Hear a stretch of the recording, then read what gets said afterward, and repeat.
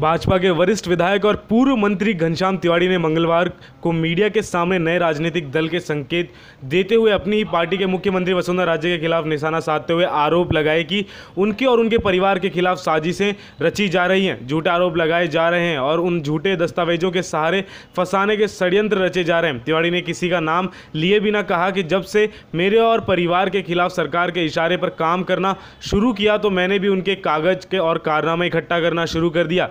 फ़िलहाल मेरे पास शुरुआती खेप है, लेकिन मेरे पास मुख्यमंत्री वसुंधरा राजे और उनके बेटे के कारनामों से जुड़े कुछ ऐसे दस्तावेज़ सामने आए हैं जिन्हें देखकर मुझे भी एक बार सदमा सा लग गया कि कोई व्यक्ति ऐसा भी कर सकता है। तिवाड़ी ने यह भी कहा कि अगर कोई अधिकारी इन दस्तावेज़ को दबाने की कोशिश कर सकता है, इसलिए इन दस्तावेज़ के चार सेट करवा रखें और सुरक्षित हाथों में दे रखें, जो समय आने पर मैं इन्हें जनता के सामने ला सकूँ। प्रेस वार्ता में घनश्याम तिवाड़ी ने यह भी कहा कि मेरे खिलाफ आरोप, प्रत्यारोप लगाए गए। आरोप लगाने वालों ने षड्यंत्रकारी योजना के तहत मेरे खिलाफ जाँच करवाने के लिए जितना सरकारी विभागों में शिकायत भेजे सकते हैं, वे भेज उन विभागों ने दबाव में आकर काम करना शुरू कर दिया। इन्हीं विभागों में से एक विभाग है एसीबी भ्रष्टाचार निरोधक ब्यूरो। जो मुख्यमंत्री वसुंधरा राज्य के अधीन काम करता है तिवाड़ी ने कहा कि आप समझ सकते हैं कि ये लोग किस तरह बढ़ रहे हैं और कितना गिर सकते हैं। तिवाड़ी ने अफसरों से कहा कि वे न्यायिक जाँच करें, उन्हें कोई आपत्ति नहीं है, लेकिन किसी के प्रभाव या लालच में आकर अवैधानिक काम करके मुझे परेशान करने की कोशिश की तो वह उनके लिए उचित नहीं होगा। मुझे देश की न्याय व्यवस्था पर विश्वास है और देश की न्याय व्यवस्था ज़िंदा है। कोई गलत काम किया तो वे उन्हें छोड़ने वाले नहीं है और ना ही उनके परिवार वालों को। लोकतंत्र के जनता अदालत भी होती है।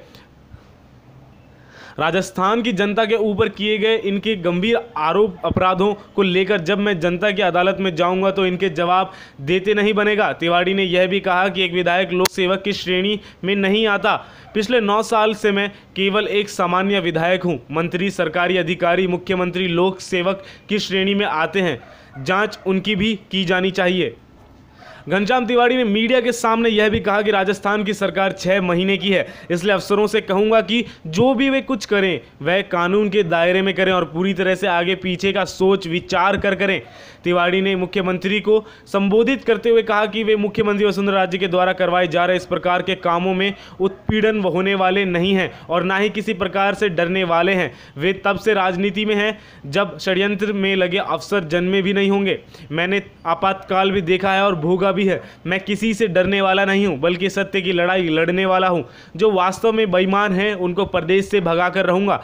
मैं ही नहीं, मेरे परिवार के लोग भी इस कार्य में मेरे साथ हैं। वे भी किसी से डरने वाले नहीं। अंत तक इनके खिलाफ लड़ेंगे और विजय सत्य की ही होगी। और भी बड़ी खबरों के लिए हमसे जुड़े रहें और हमें सब्सक्राइब ज़रूर करें।